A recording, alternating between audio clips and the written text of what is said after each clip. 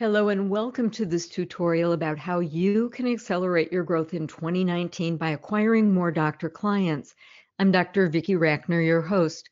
I leverage my experience as a practicing surgeon, clinical faculty at the University of Washington School of Medicine, and serial entrepreneur to help financial services professionals take the fastest, easiest, and most direct path to success in the medical market.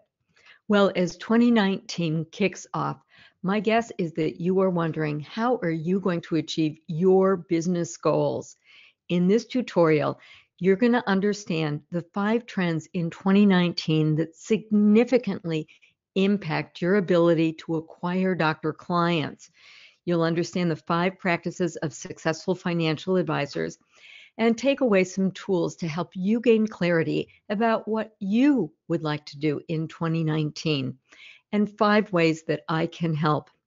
I've delivered two webinars. One is Getting Doctors to Do Business with You that talks about the 10 laws of physician engagement.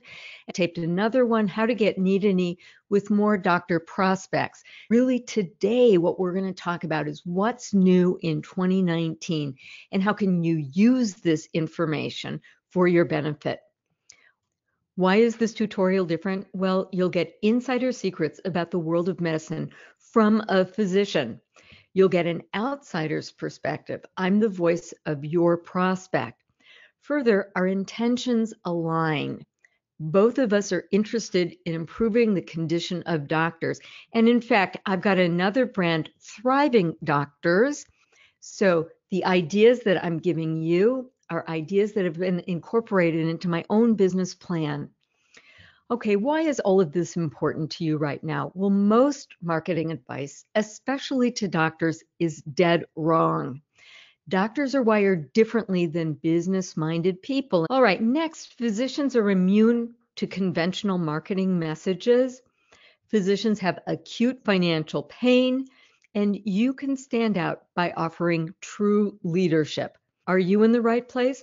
Well, this tutorial is for you. If you're a veteran in the medical market, you're also in the right place if you want to jump right into the medical market and avoid the steep learning curve, or you see the opportunities in the medical market and you're wondering, how can I really leverage those? This tutorial is not for you. If you're looking for a get rich quick scheme, Doctors work very hard to be in a position to deliver care, and so too the advisors who are successful in the medical market invest in smart work. This is not the right tutorial for you if you want a do nothing campaign. I will show you what to do, but it's this is not about just getting leads delivered to your inbox, although wouldn't it be great if that could happen?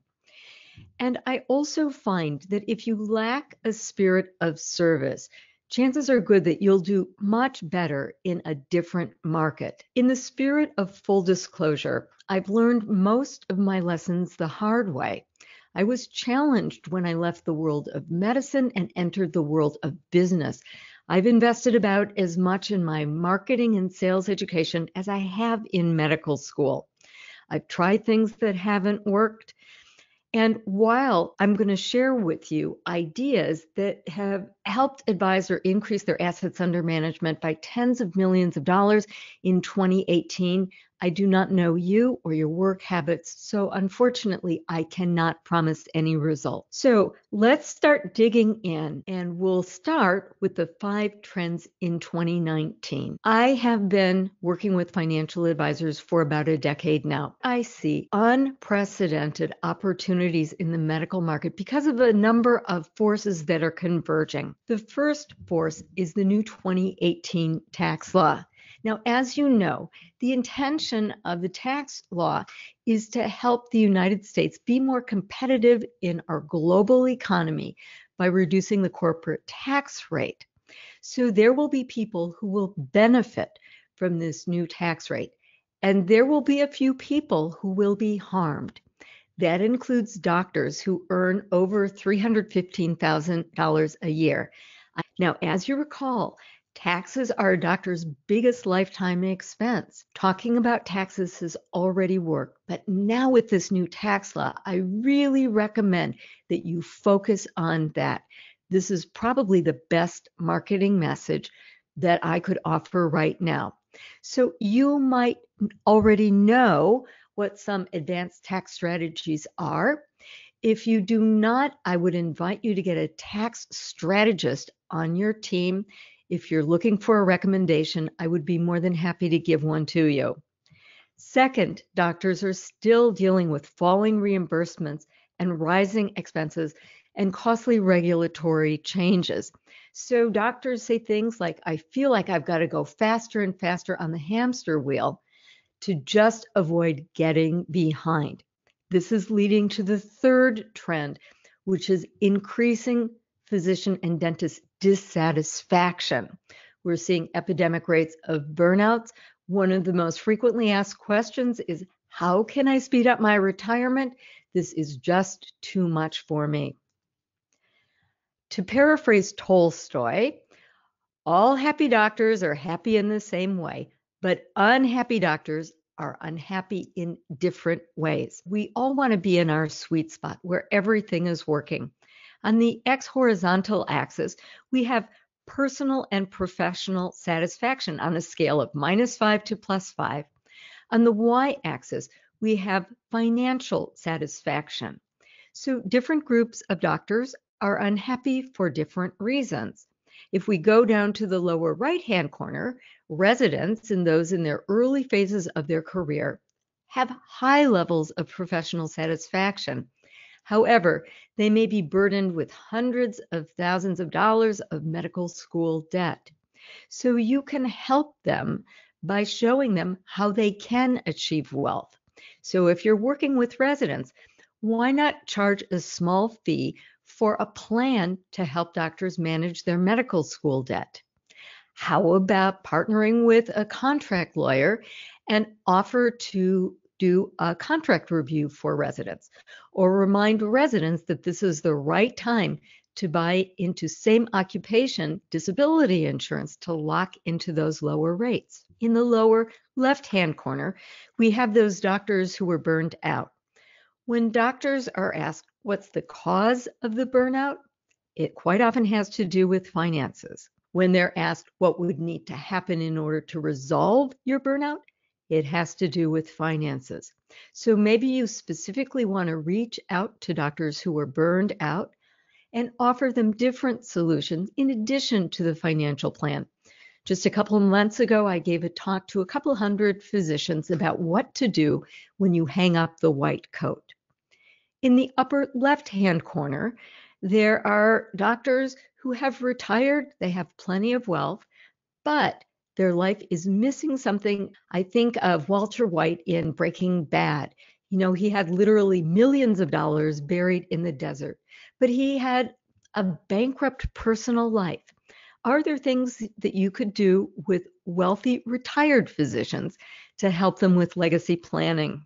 The fourth major hurdle that you've always had to deal with, but is getting more exacerbated, is the high barrier to entry. It's getting more and more difficult to engage doctors. I remember early on when I was working with advisors, somebody told me that what he used to do is just sit in the waiting room of MD Anderson and follow doctors back to their offices and get new doctor clients that way. Well, clearly that's not happening. You're dealing with a very, very tough gatekeeper. And more and more institutions are closing their doors to people who basically want to sell things to doctors. So here's one of my speaking contracts. And you'll see that you have to declare conflicts of interest or commercial interests or financial relationships. And quite often, because you monetize your ability to help doctors build wealth, doors will be closed to you. And last, doctors are getting social. I had mostly been targeting my own personal social media activity on LinkedIn, but I have come to discover a very active physician community on Facebook for example, here's a group called Physician Side Gigs with almost 30,000 members. This is a closed group, so they ask you to tell them when you graduated from medical school. They verify you're really a doctor before you're let in. But interestingly enough, there are lots of queries about financial issues. And here's another example of the most influential person in a doctor's life is another doctor. A lot of times when these kinds of questions are asked, some doctor will say, Hey, why are you getting your financial advice from us? Go see my CPA, go see my own financial advisor. Here's a name. Let's talk about the five practices of successful advisors. I'm humbled and honored to be able to work with some very successful advisors. In fact, I had a conversation this year I will never forget. One of my private coaching clients said, Vicki, we're going to have to back off on the marketing. I simply cannot manage all of the new doctors who are calling my office and who want to be my clients. And after laughing a little bit, we did make a plan to bring in a junior resident so we could sort of capture this interest. But this advisor has achieved what I call escape velocity. Now, you know that if you want to launch a rocket, it has to have enough momentum to overcome the gravitational force that's keeping it to the earth. But once it overcomes that barrier, it's clear sailing. Well, so too, there are investments that you need to make to become the go to expert among targeted groups of doctors. But the reason that that pays off is exactly the situation that I just told you about. Once you become established as go-to advisor, doctors in that community wouldn't dream of working with anybody except you. So, how did he and others achieve escape velocity? Well, here are the five practices. First, they harness the power of the story. I'm working with a private coaching client who's actually launching a medical billing business. And you should know this because, on average, doctors in private practice walk away from about 30% of their revenue when they don't follow up on rejected claims. Well, this woman was having a hard time breaking in and capturing the attention of doctors. So I asked her, What made you go into this business? And she told me her story. She had been a math professor, and at age 40, this perfectly fit, healthy woman had a heart attack she got a renewed appreciation for what it is that doctors do. And now she wants to give back to doctors. I said to her, Why don't you tell that story? She wasn't sure, but she screwed up her courage and did it. So she had her third meeting with a doctor and she told him the story. And she said she could see a physical shift in him. Suddenly, he wasn't as guarded. He was interested in hearing what she had to say because she had been authentic. She had shared her true story. So, what's your story? Why is it that you're working in financial services? Why is it that you're working with doctors? I recommend that you hone this story and tell it frequently. Next, harness the power of peers and influencers. You know that the most influential person in a doctor's life is another doctor. I did two breakthrough things this year. The first is I let financial advisors write a custom forward to the myth of the rich doctor. But the second breakthrough thing I did was I wrote letters of introduction that advisors could send out under my physical address. So if you sent a letter to a doctor, chances are pretty good it winds up in the circular file.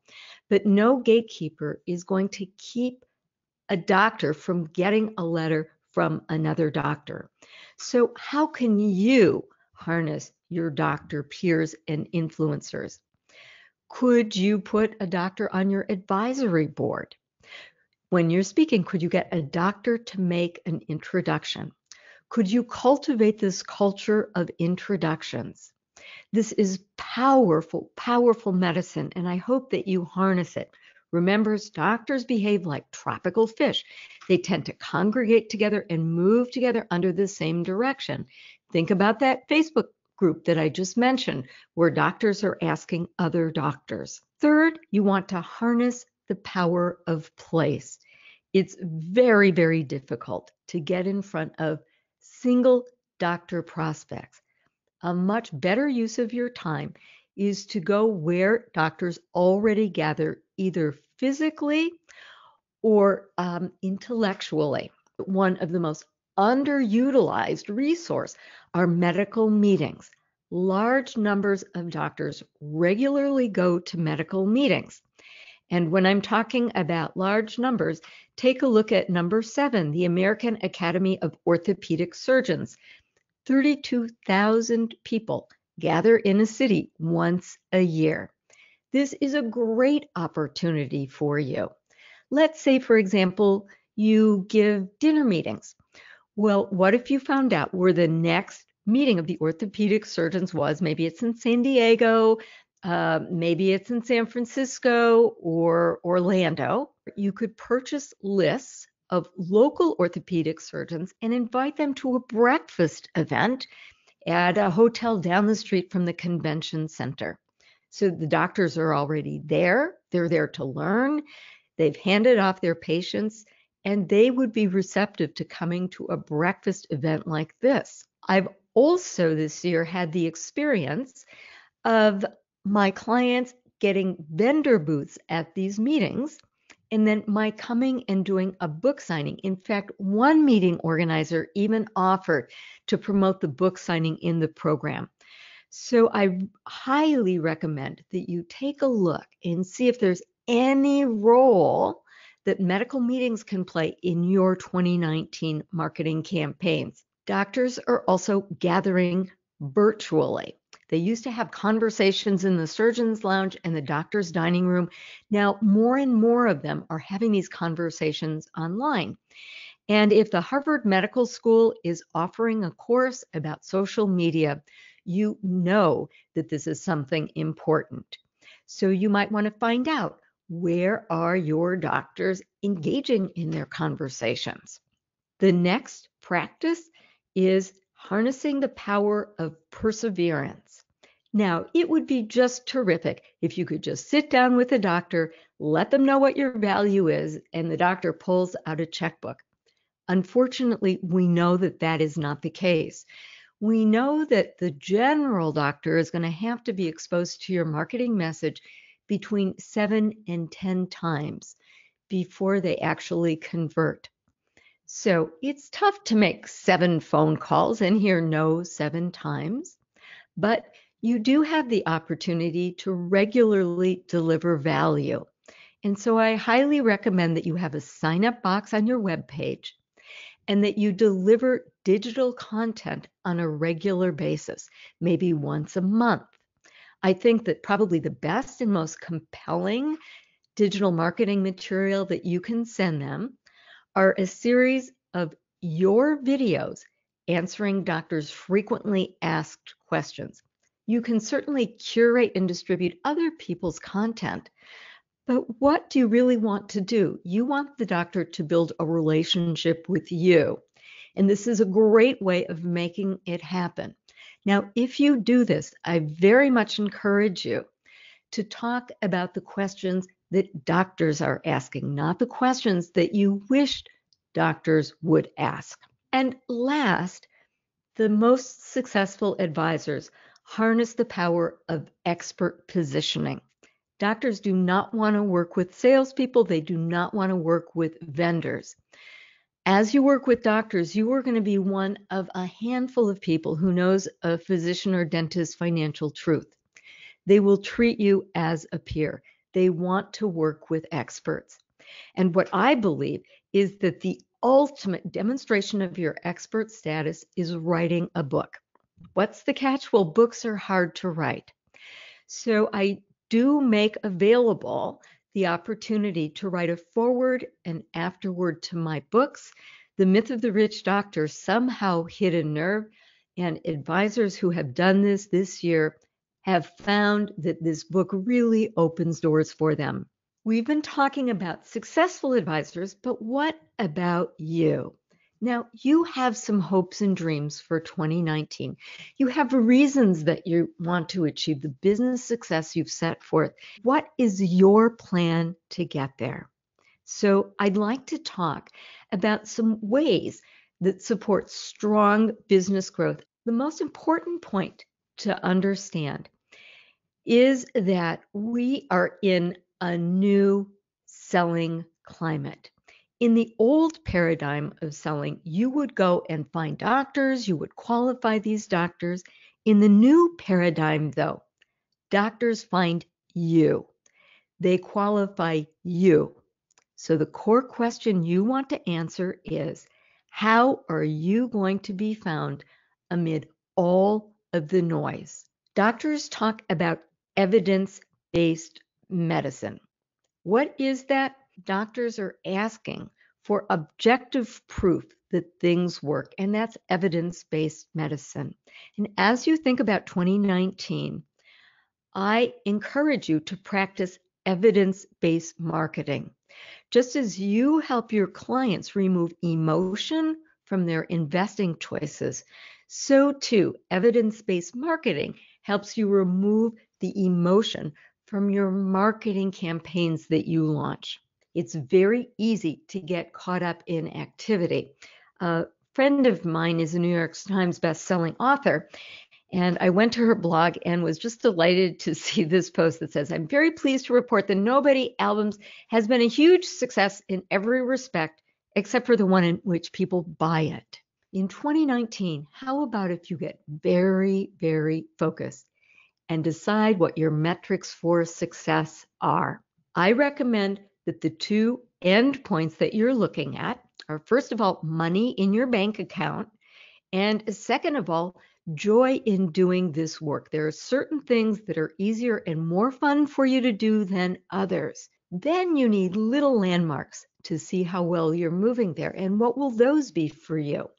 Some of them might be the number of prospects on your list, the rate at which your list grows, the number of power partners and the number of introductions that you get from them, the number of views you get from a post or an article, the number of clients, and maybe the conversion to appointments.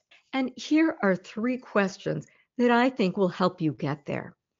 First, what questions do doctors ask? Now, I know that you think that they should be asking about the best investments or retirement planning.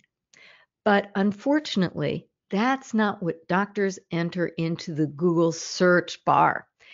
Find out what questions they're really asking. Because if you can answer those questions, if you've got web pages that have that on them, if you can title your articles or videos with these keywords, you increase your chances of being found. Second, where are doctors having conversations? you want to be there. So, are they having them in person at meetings? Are they on social media? And if so, which social media platform? You want to be where your target doctor clients are. And then, how can you join the conversation? And as always, I'm going to strongly encourage you to build relationships by delivering value always have something to give away. Now, if you've ever trained a puppy to come, you know what you do. You put the puppy on a sit and then you issue the command. And if the puppy doesn't come, the natural tendency is to chase after the puppy. And what happens? Well, the puppy thinks that this is a game and runs away from you. The exact same thing happens when you try to engage doctors in conversation. So do what smart dog trainers do. Offer yummy treats when they come to you, so always have something great to give away. The key to success with digital marketing is having the right keywords. So there are tools to research what keywords are best. I will be creating some videos that will show you how to do this, and you'll hear about those. But again, if Harvard's talking about social media, 2019 might be your year to finally jump into social media. So I hope that those ideas have been helpful. I sort of feel a duty to let you know how I might be able to assist you in your efforts to acquire more doctor clients. If you're not really interested in a promotional message, I thank you for your time and your effort, and I hope that you found value in this. I will tell you that I wake up pretty much every morning and ask myself, what can I do today to help financial advisors acquire more doctor clients? I listen to the kinds of things that advisors tell me that they want. So over the decade, I've put together lots and lots of services and tools to help financial advisors. And very quickly, here's five of them. The first are coaching services. Now, what does a coach do? They help you achieve higher levels of performance. And that's exactly what I'd like for you.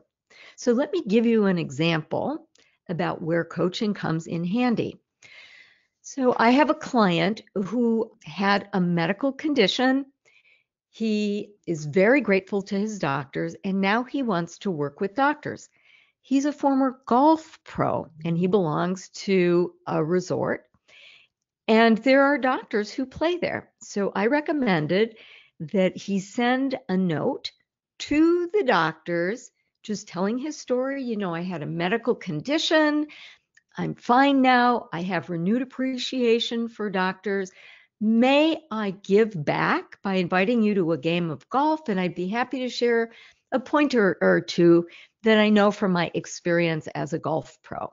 And then once he was out on the golf course, he could talk about his business. So he changed the wording of the invitation and he introduced himself. He told them what he did for doctors. And guess what happened? One of the doctors who got it was on the board. There was a formal complaint against him for solicitation. So I wish that he would have shown me the letter that he was planning on sending before he actually went out. But it kind of backfired on him. And now we're doing reputation management. We'll turn this thing around. Subtle little things can make a huge difference. So having somebody at your side who really understands how a message is going to be received, not by a suit like you, but by a white coat like me, can really help you stay out of trouble and craft messages that are going to resonate. So I offer all sorts of coaching packages. I also offer strategic and tactical support. And if you're looking for a starting place, the best place is the Cracking the Physician Code course. There's a home study course, there's a live web based course, usually with about 10 people, and then there is a live boot camp where we spend two and a half days together. I also offer these yummy treats, these value delivery vehicles. Probably the best are my books that you can co brand. The Nine Money Mistakes Doctors Make is about to come out. You are welcome to co brand that by writing a forward and afterward. In addition, this package is going to come with nine videos. So, one video for each of the nine mistakes. With this package, I'd be happy to give you the script so that you can record them yourself. You can introduce me and I can deliver it, or I could potentially interview you. Books are the ultimate expert positioning, but I've also got articles, I've got videos, I've got way to help you with expert positioning packages too. So I create lots of content for my Thriving Doctors brand. You have access to all of them, including this book about how to get more patients starting today. I can open up the red velvet curtain for you by making introductions. So, this year, for the first time, I wrote a letter of introduction, peer to peer, introducing the professional financial advisor. This worked very, very well. In addition, let's say you're giving a seminar. I've delivered the invitation for these seminars. I'm also available to speak and either with you or solo and then promote you from the platform. I recommend that even if you don't use this service, you think about a doctor that you can get on your team to do this with you because this has just had such great results. And then last, there are some high driving advisors who just want to be able to get some help and take a really fast track to success. So for them, I've created what I call the power prospecting package. So this is in essence where I join your team and we really focus on getting you some fast results. So you get a physician partner. We co create high value content. You get a step by step marketing plan and my help with execution. You move quickly and you get exclusivity. So I'll only work with one advisor in a geographic area. So let me give you a case study here. Michael was interested in getting some fast results. He was born in Lebanon, and when the war came, his family finances were ruined. His plan to go to medical school was put on hold. He came to the United States pretty much doing anything he could to earn income. So he was relatively new to financial services. Further, he had just moved, so he was new to town, didn't know a lot of people and had no local network. What are the positive things about him? Well, he understood Lebanese doctors because he was born in Lebanon. He spoke five languages. He already worked with police officers and teachers, so he'd had some experience. He was a member of the Catholic Church. His brother in law was a doctor, and his niece, unfortunately, was in need of a bone marrow transplant. So, how do you put this all together and go from zero to 60 in uh, 30 seconds. Well, I started looking around to find good fishing holes for him. I found the American Lebanese Medical Association. I found a National Arab American Medical Association. Since this person was a very religious person, I also found um, a Mission Doctors Association. I went on ZocDoc to try to identify doctors who spoke Arabic. You know, wouldn't a doctor look differently if the email were sent in Arabic? And I actually found a meeting of nurse anesthetists who were a very, very good fit. Temperamentally, they're much like police officers and teachers. They're really nice people. They can actually earn more income than primary care doctors. So I found a meeting and we put an entire plan together that I think, as you can see, really reflects who he is. And that's the intention. Find a plan that works well for you. So you get a physician partner. You can say, I work with Dr. Vicki Rackner. You can list me as a project partner on your website. You can put your profile on my targeting doctor site and you will get appropriate introductions. So let me show you exactly how that might look. I have joined a private Facebook group for moms of college bound kids. Now, this is a closed group, so again, you have to prove that you're a doctor in order to get in the group. Well, there was a woman who announced that her son had gotten into his first choice school but she didn't know how she was going to pay for it and she asked for some help. So I consulted with one of my own clients who does college planning and I said, Is there anything that you can do to help her? He said, Of course. Feel welcome to make the introduction. So I did. Her response I'd love your financial advisor's information. We have no money. And when doctors say that, it's generally not true but are open to any suggestions, creativity. Thank you for having this conversation on our behalf, above and beyond, and much appreciated. So, if we're working together, this is the kind of introduction I'd be happy to make for you. Let's take a look at some of the other posts on the physician side gigs. Okay, you probably know about incorporation. You probably know how to finance a practice buy in. You can give advice about taxable accounts. We're going to figure out what your path to success is and then execute it. So, your major job is going to be relationship building, which you're an expert at anyway. You know that relationships are more profitable than assets under management. So, this power prospecting program is good for you if you're a veteran in the medical market and you just want to kick it up to the next level this year. You want to jump in and avoid the learning curve. You really want to take a quick, accelerated path to success. You want to quickly position yourself as the go to expert. So basically, I've included everything that I think would be helpful for you to achieve success in the medical market. Well, what's the investment? Well, I thought a lot about this. And I asked myself, well, what's the value of a single physician client to you? What's the value of being perceived as a physician's partner? What's the value of marketing materials that physicians want or of getting your phone calls returned? What's the value of getting the attention of the executive director and avoiding campaigns that don't work? So, everything that you are seeing here has worked. I engage in evidence based marketing.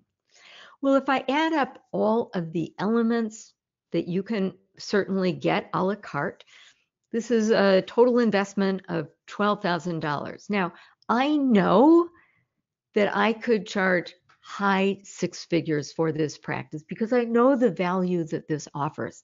However, I'm also here in the spirit of service to help you. Instead of the 12,650, you see what the investment is.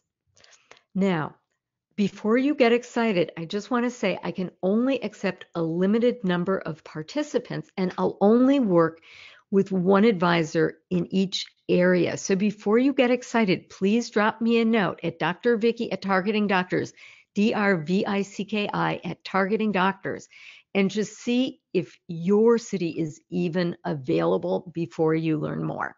With all of my products and services, you are protected by a money back guarantee. If you get started and it's not for you, if I don't fulfill the expectations that you have, you will get your money back, no questions asked. So you assume absolutely no risk. The risk is on me. So let me ask you again what is your dream? Where are you hoping to get to in 2019? I wish you all the best in achieving these career goals. Thank you so much for your time and your effort. Let me know how I can support your success in the medical market. Bye bye.